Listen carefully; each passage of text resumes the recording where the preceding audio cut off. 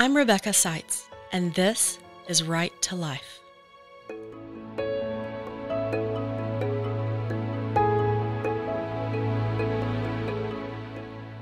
I don't know if this experience is unique to me, but I never really thought that I'd be a mom. I mean, I did the thing where I named my future children when I played with my Cabbage Patch kids and all, but it never felt like something that would actually happen. It was just a story, a dream, something way far off in the future. Motherhood felt like a very grown up thing, meant for older and wiser women, or at the very least, for when I felt like an actual adult.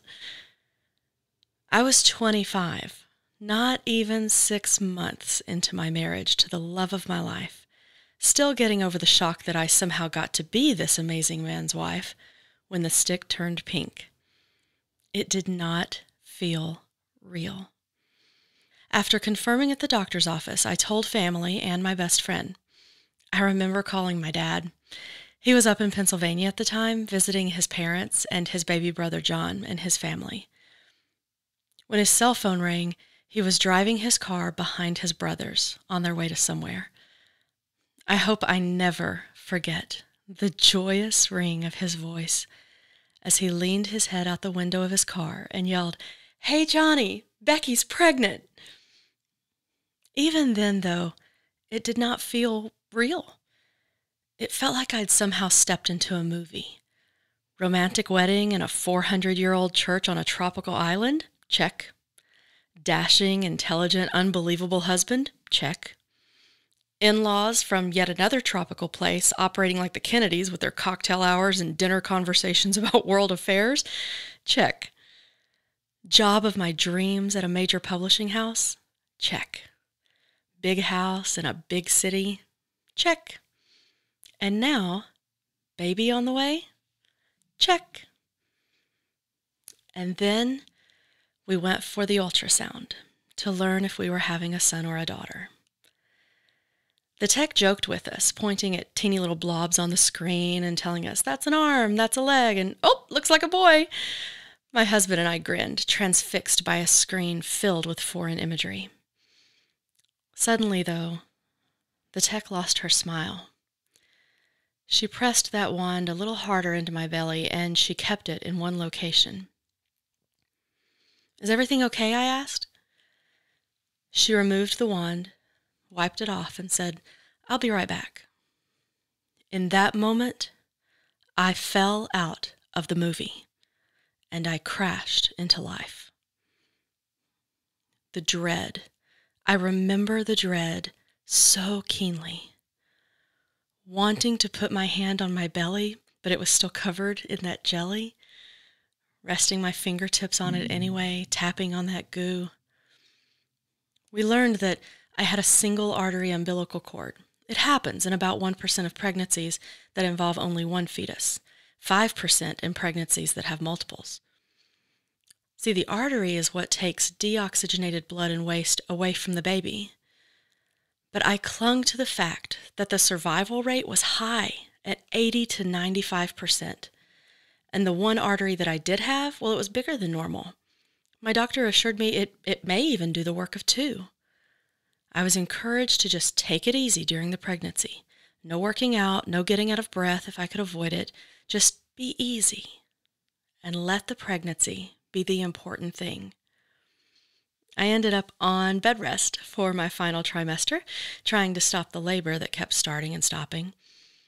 Forty days before his due date, and after three days of labor that would not end, followed by an emergency C section, my firstborn arrived into this world at seven pounds five ounces. Yes, he did have a complication. His eyes hadn't finished developing. We didn't even realize it at first. He often kept one eye closed, but he would switch which one he kept closed and which one he kept open, so we just laughed and thought he was winking. In truth, his eyes were developing independently of each other, like a chameleon. My kiddo was learning to see and process two objects at once. Otherwise, though, he was perfectly healthy.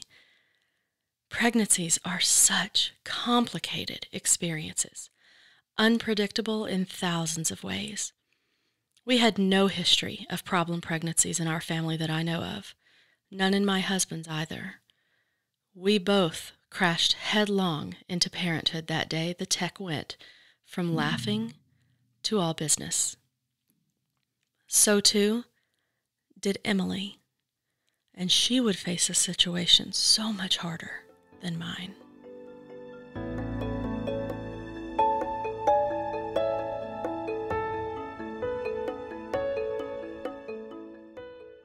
Emily, welcome to the Right to Life podcast. Thank you for being here today. Thank you so much for having me today, Rebecca.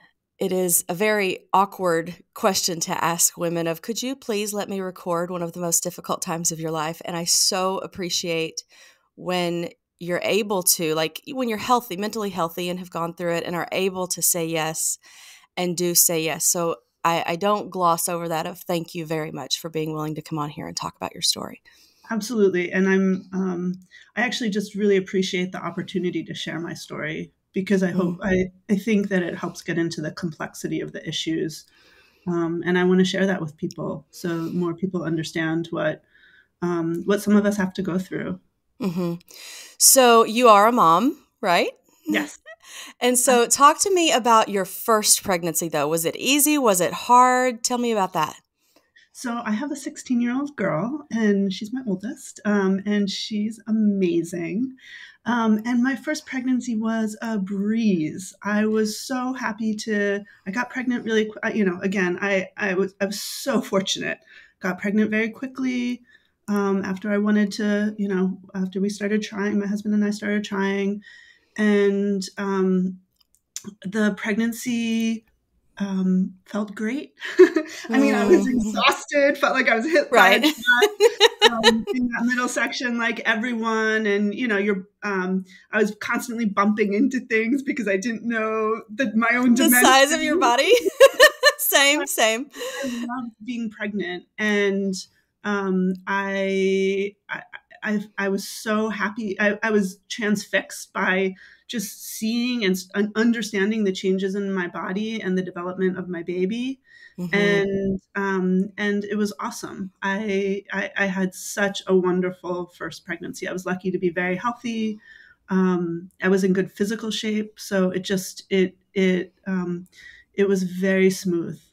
And and the and, birth and the birth i um, i gave birth with midwives and the birth was mm. also very smooth i did um, a pretty extensive um, prenatal birthing uh, classes um, called the bradley method mm-hmm. Um, and it's a method where you're really focusing on um, relaxing your body through the birth and so i did that and it worked for me and it was just an extraordinary, extraordinary experience. I, um, my baby was, she was big. She was uh, fairly big, eight pounds, six ounces, incredibly healthy. I was healthy. My midwives were yelling at me to stop um, taking walks with her in the, in the immediately after I gave birth because I felt that good. So, you know, I had wow. this one view of pregnancy. And again, I, I um, speak understanding how fortunate I I was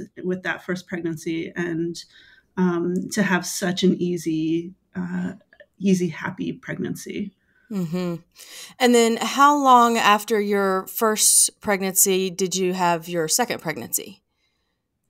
So, um, about three years later, um, mm-hmm. I maybe about two and a half years later, we, um, we started to try to have a second, and it took a lot longer um, you know again you you know you only your own experience. So when you're not getting pregnant right you're you know when i wanted to be pregnant again and it wasn't happening right away and i, I can't remember precisely the time. It might have been that we even tried for more like um, you know nine months or so.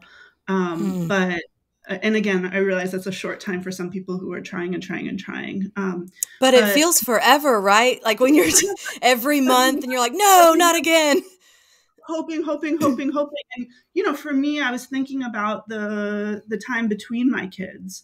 Um, I mm-hmm. I wasn't ready for a long time to have another baby, even though I knew I wanted to have another one because I work full time and I just felt like I had to make that complete connection with my my with my first baby, um, my older daughter, before I was ready to then be able to turn some of my attention away from her, which is which I had to mm-hmm, mm-hmm. have another. And it took me my own journey was it took it you know it took me longer, and then I was really cognizant of the time you know the time growing between their ages, um, mm-hmm. and so um, yeah, I was pretty anxious to um, to get pregnant that second time. So, how did you find out you were pregnant the second time? Um, I um, I, I, I knew, you know, because I was waiting, waiting, waiting. I knew mm-hmm. right away. I took a pregnancy test. Was thrilled. Um, I had just moved that summer to the state of Maine, and it felt like kind of a. Um, uh, I lived in DC previously, and and um, where I live in Maine, it's just a it's such a wonderful place to raise a family. And so I was mm-hmm. just really focused on like, oh, we're at, we're in the right place now. This is mm-hmm. awesome, you know. Um, bought a new home, um, and so um, I yeah I found out um, pretty pretty soon after we moved to Maine. I got pregnant and was just so thrilled. So you found out you were pregnant, and then probably did as we all do. You make an appointment with your doctor to go in and confirm, and then. Yeah you, but there was a time when you found out that there was an anomaly happening with your pregnancy. What was that experience like? So, at about 10 weeks, I went in for an ultrasound, um, and I, my husband was there with me. And um, the technician, I remember, was incredibly talkative and kind um, as she put the cold jelly on my lower belly and got started. Um, and then suddenly she went silent, and the energy in the room just completely shifted. And she mm. um, abruptly left, muttering nervously that she had to get the doctor. And mm-hmm. I, I, need to I need to go back because I left out a really important part of the story. Okay. so in when she was in that really talkative um, uh, time, she told me I was pregnant with twins, which I did not know. Um, and so, you know, it was um, the twins do not run in my family. They do not run in my husband's family. Um, it was a complete surprise and, um, you know, extraordinary. Like twins, wow. So, um, you know, suddenly, and um, I'm a pragmatic person, and maybe I shouldn't admit this, but some of the things going through my head were like, how do I get a three car seats into my car. yep. And then I work full time, so trying to think about like childcare, and childcare is mm-hmm. expensive, and it was mm-hmm. you know already expensive with one, um, and so those like very prag. I mean, again, I can remember those very um, pragmatic thoughts going through my head where you're just trying to adjust to wow there's a there's two babies did the did the ultrasound tech did she know that you did not know until she said something? Yes. Okay so she knew she was giving you an announcement. She was giving us an announcement. How fun. So it was a you know the shock that's a lot to take in. And then this shift in the energy in the room i was telling you about. So it was just um, it was it was a lot. Uh, and the a doctor pretty quickly came in and um, and actually showed my husband and I what the technician had seen, and I um, I could see with my own eye and without any medical experience um, what the concern was. And with one of the babies, the the neck was was very um, was very large. Um, mm-hmm and that's really what I remember. You know, it was um, just kind of the shock, the shock of it all. And then, you know, we went into um, the doctor talked with us a little bit, and we went in and talked with a specialist, and she kind of walked through what they were thinking and what the what the risks were. And so, over the next few days, tests confirmed that um, one of my babies had trisomy 18 which is a genetic disorder that affects nearly every organ system in the body. Mm. Um, yeah, half of babies um, that are born with trisomy 18 die within their first week of life. Mm. And I learned at the time that the median lifespan is five to 15 days. And oh. yeah, yeah. You know, and all of the, all of that is so much, but then I also had another baby that I was carrying. Mm-hmm. And and that's um, how this got so complicated because there's a high risk of miscarriage with um, uh, um, or stillbirth actually with trisomy 18 mm-hmm. um, and so that put my my other twin at risk. I you know i could have gone into labor very very early or um, or faced other serious complications.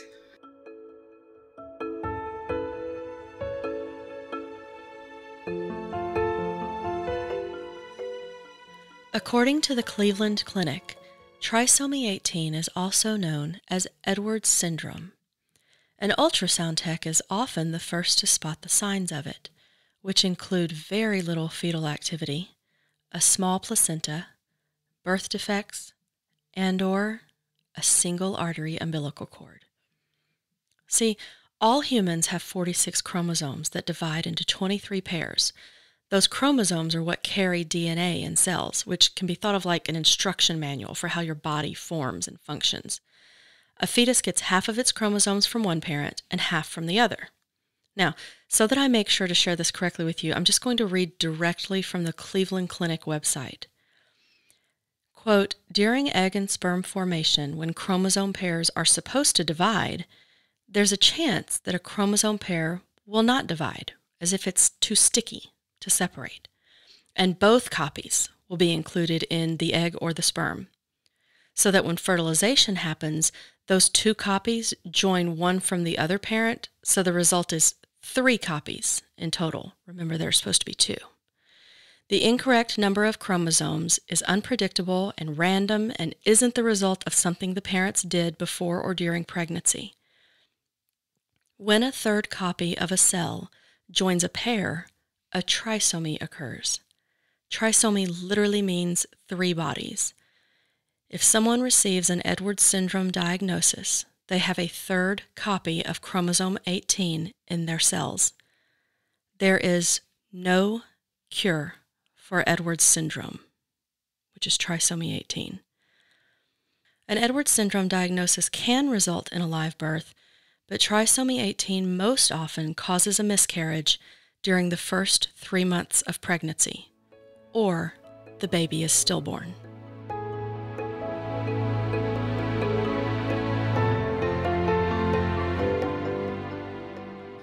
So, so yeah. did your doctor make a recommendation for what you should do, or did they just say, look, here's the situation you're facing, here are your options, go think about it?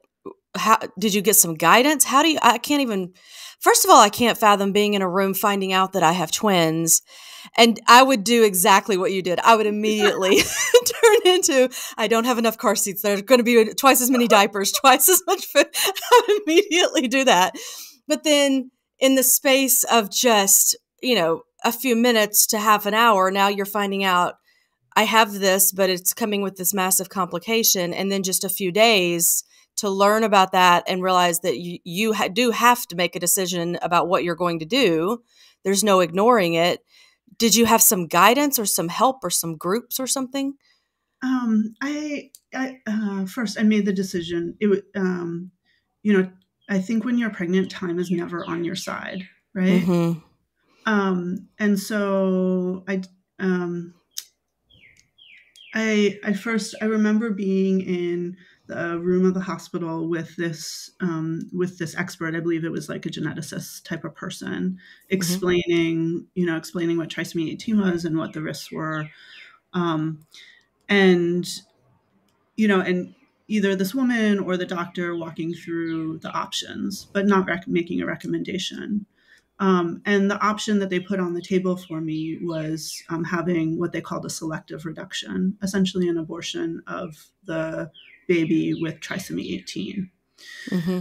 And so I left the hospital. My husband and I left the hospital that day with all of that information. And I went home and um, I, I, I, pored over. I, I, I, um, I have a master's in public health. I have some background in you know not the medical field but in understanding scientific literature mm-hmm. um, and so i really delved into the research and evidence around trisomy 18 um, i did find that there were some support groups online. This is now 15 years ago. It might the you know the situation might be you know really different and might have evolved a lot but i, I did find find some support groups of people who did choose to um, you know move forward with pregnancies with babies that had trisomy 18 um, and um, and I also had a um, a college friend, my uh, actually my freshman year college roommate, who was a dear friend, who was an OBGYN, and I called her, mm. um, and she really helped me um, as you know uh, walk through you know some of the medical details from her perspective, um, mm-hmm. and you know it was it was really over um, a, a, couple of days where I um, I made the decision. You know, I, I I think when it comes down to it, I you know I'd been so happy to be pregnant. I I um, twins were total you know totally out of left field, but awesome. Um, but now I, I was really faced with the prospect of losing both babies.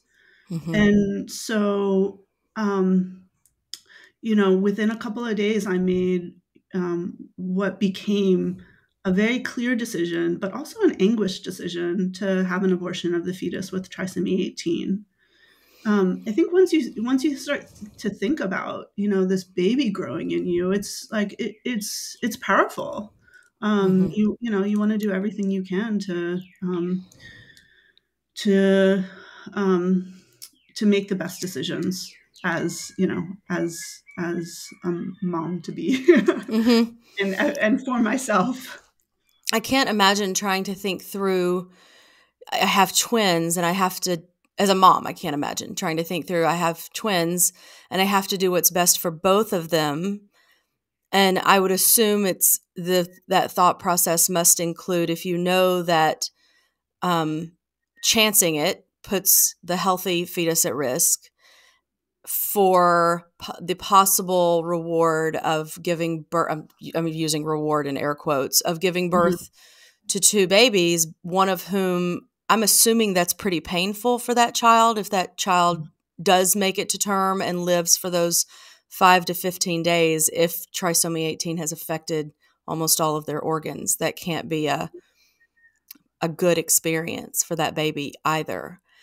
I just, no, I just, I I'm so sorry. I also had to think about it through the perspective of my older daughter. You know, what would it mm. have?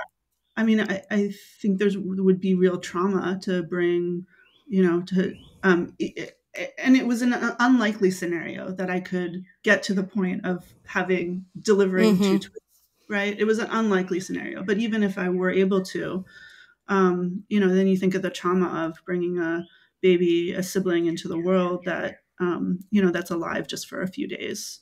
Mm-hmm, um, mm-hmm. So you know, it's it was um, there's there's lots, so many different so many different angles that you had to, you know that I had to consider. But that's why I think it became so clear. You know, I had the potential to have. Um, I had, you know, I had a, a tragic pregnancy, but I had the potential to have a healthy baby in the mm-hmm. end. And that's what mm-hmm. I did. Um, mm-hmm. You know, my, my daughter Harper is now 13 and she's this she's incredible. She is just such an awesome kid. And um, i look at her sometimes and realize like wow i you know i'm um, I, I i'm i'm so fortunate to have been able to bring her into the world. And mm-hmm. um, yeah. So I, I, think of you know i i think it was um, it was it was a hard decision while i was making it and then it became so clear to me. I, I it was the only option for me. Was that you said that you had moved to maine. I don't know much about maine but i don't think there are many metropolitan areas there. Were you able to get this taken care of where you had moved? No, I, I live in Portland, um, which is the biggest city in, in Maine, but they didn't have the um, the medical expertise here. So I actually had to go down to Boston um, which is about a two, uh, which is about two hours away.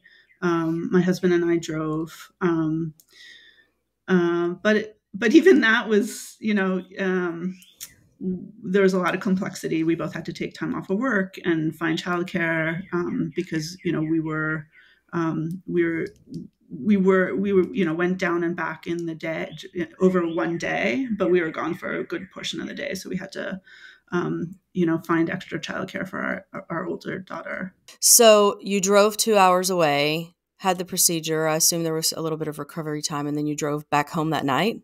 Yes. And did your other daughter, so she's only three, I guess, at this point, does she know what's going on at this point? No, not at that point. You know, we've been very open with as a family, mm-hmm. um, but not, you know, she was too little at that moment to understand. They're 13 and 16 now, right? Yes. Mm, I hope you have lots of caffeine with two teenagers from from one mom of two teens to another mom of two teens. two teenage girls last week, last weekend we had both the prom and a 13 year old birthday party on the same night. I'm not sure. Oh, girl. oh, my sympathies, my deepest sympathies. Um, we had last year we had eighth grade graduation and high school graduation back to back. And I, I don't think I've ever been so emotionally wrung out in a good way in my life. I was just like, what is happening right now? Um, so, but, but you said they do know. So uh, do, have they shared their, I'm sure they have shared their thoughts with you about this, their feelings about this? I'm wondering what the experience is like here where your children know that you made this choice. Are they, do they have thoughts about that and feelings about that? Um, I think that for my older daughter who's 16, I want to say pride because mm-hmm. she knows what we went through was really hard to be able to have her sister. And she feels like we, um, you know, uh, she's a, she's a really thoughtful kid. so I, I think she, I think she sees both like how yeah the, how extraordinary it is that um that we have her sister and then also you know knows that that was you know it was a it was a hard experience for us and feels like wow my family went through this hard thing and maybe you know we are stronger for it um mm-hmm. i i you know i haven't cried yet today talking with you but i typically cry when i talk about it understandable and, you know, I think her seeing, you know, seeing that emotion and feeling and, you know, understanding how, um, yeah, how lucky we are as a family to be able to have come out of this really troubled pregnancy with a healthy baby um, is something really, you know, is really special. So, yeah, mm-hmm. I, um, I, yeah, I think, and then my younger daughter, I think, still kind of grapples with it. It's it's a lot to think you were a, you had a twin and that mm-hmm. other didn't make it and um so you know she's 13 i i it, she's she's never experienced anything you know and uh said anything negative about it but it's just i don't you know i think it's it's a lot to get your head around mm-hmm. as it would be for any sibling to lose a sibling at yes. any point of life Absolutely. i mean that Absolutely. is a lot to grapple with especially as she's 13. That's absolutely. Um, I wanted to ask you, I wanted to, to clarify. I think that what you said at the beginning of our conversation resonated so strongly with me of as a mom, you had to sit down with this decision. And yes, you had a husband, and yes, you had people helping you, and you had doctors and a best friend talking to you. But at the end of the day, you were a mom who had two fetuses inside of you and you had to make a decision here. And having the power and ability to do that seems important because I'm not sure how for you anyone would really be able to grapple with what you had to grapple with all of those mm-hmm. details and the outcome of whatever course of action you chose. So I'm very glad that you had the opportunity to yeah. make that choice for yourself. Yeah, absolutely. Um, you know, something you just said just resonated so much, which was I can remember sitting at my computer looking at the research and really um, uh, making the decision. I, I don't want to say that this in a in you know a, a negative way about um, my husband at all because he was incredibly supportive and we had a great relationship and you know we were in it together. But it was my decision. Um, mm-hmm. even my husband. Like i i was the one who was like this is what we're going to do. Um, and here's why. And i think it ha- i mean it's my body right? Mm-hmm. Um, mm-hmm. it has it, it has to be. Um, but you know if i think now that there are states where the abortion i had to save the life of of my twin would be illegal um, that's my state What you wouldn't yeah. be able to today yeah. you would not be able to do that unless you could find two doctors to say absolutely it's going to cost I actually our law here it would have to they would have to say it would cost your life. I'm not sure in the case of it's going to cost the other the twin's life if she, because this this twin is going to likely cause a miscarriage and that's going to not be far enough along in the pregnancy for the other twin to survive. And yeah, no, there's no exception here in this state right now for that. It, it would have cost both twins and I there was there was uh, I, I, was healthy throughout. I mean, maybe I wouldn't have stayed healthy, but mm-hmm. that early on at 10, 11, um, I think I, I had the selective reduction or the abortion around 11 and a half weeks. Mm-hmm. Like that, that um, I was healthy at that point. My, my, it wasn't, you know, my health wasn't at issue. It was the health of my, um, of my healthy twin. Mm-hmm any children after Harper, or were you done at that uh, point? I, I was done, and in part because that pregnancy scared, you know, mm-hmm. scared the heck out of me. You know, I mean, mm-hmm. you realize, and it, and especially in contrast to my first pregnancy, was just so easy. You realize, like, you know, this is, um, these things aren't in your control, right? It's not. Uh, and I was older at the time. I ha- I was pregnant with Harper when I was 36. Um, and at that point, they, you know, I, every every medical record said I had advanced maternal age. Um, oh, how kind!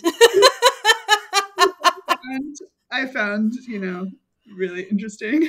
Um, but you know, it made me it made me realize, you know, even if I had um, wanted to be pregnant again, it it it kind of convinced me not to not to try. Um, but that's mm-hmm. okay. I have two beautiful girls, um, mm. beautiful girls who are the center of my life, and um, you know, and I, I um, yeah, I feel so lucky to um, to be, you know, to to have ended or to have gotten out of such a hard pregnancy with a healthy baby. I, you know, I went through the rest of that pregnancy. It was a hard pregnancy throughout. Um, the doctors were worried that my um, that the fetus that survived um, was um, was too small, and um, I was constantly uh, doing ultrasounds um, weekly, every ten days. Um, but I ended up um, having Harper um, two weeks after my due date. Um, so she oh wow, she was comfortable. she said, I'm good. I'm all good, mom. Thanks. she, was, she was eight pounds, nine ounces. So not small. she was totally fine. And so healthy. And um, pretty quickly, we started calling her Happy Harper because she's just like a, ah. an easygoing kid. And um, yeah, it was it was it was a it was a hard hard pregnancy. Um, but she, you know, she's we've been so fortunate. She's she was healthy as a baby. She's been healthy throughout her life. Um, she's so strong now. She's taller than I'm tall, and she's taller than I am at 13, and she's so strong. I have, to, I have to hand her jars to open now, and I can't. Me too. Oh my gosh, that's so demoralizing. oh, when you have to hand it to them and they can do it with ease, and you're like, okay, all right, now I'm advanced age. I understand.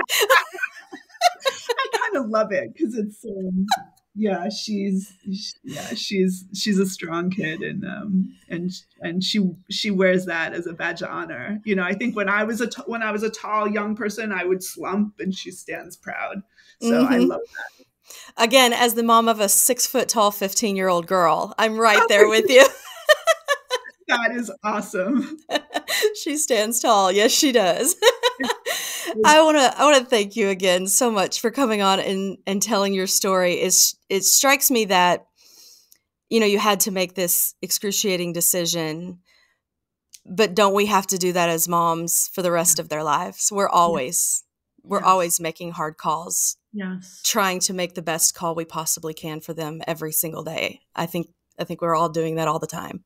Absolutely. That is so true. Yeah. Thank you so much for coming on, Emily. I appreciate it.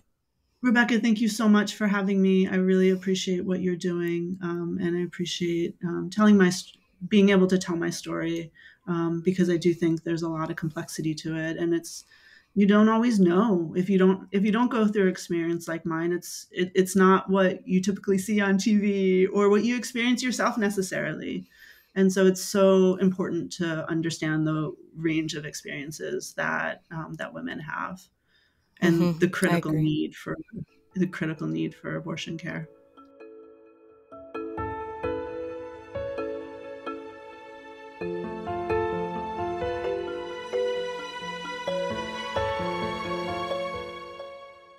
Emily's story reminds me of how impossible it is to foresee all the complications that can happen in pregnancy.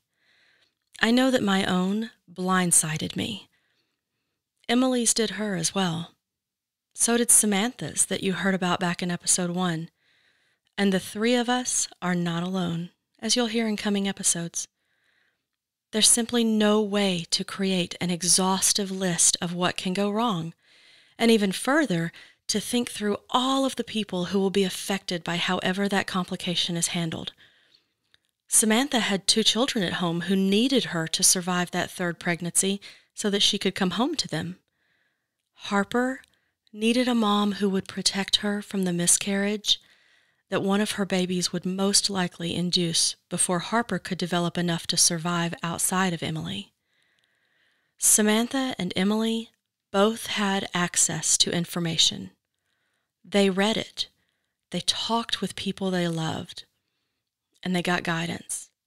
And then they decided the best course of action for themselves and their families. Ten years ago, I would not have afforded them that opportunity because I didn't know they needed it. I did not know that abortion can be necessary, that it can be the very thing that saves a life. I wasn't looking at the life of the mother, much less any of the children or family around her. But like I told you in episode one with Samantha, hearing Emily's story forced me to wrestle with a hard truth. My name is Emily, and I have a right to life. My name is Harper, and I have a right to life.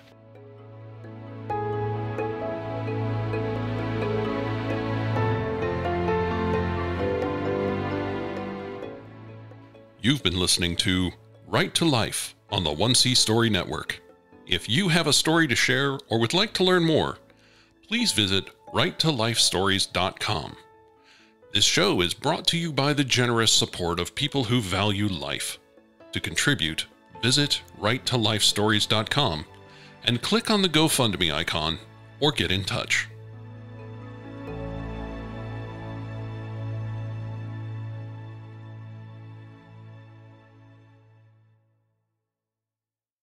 The 1C Story Network for the love of stories.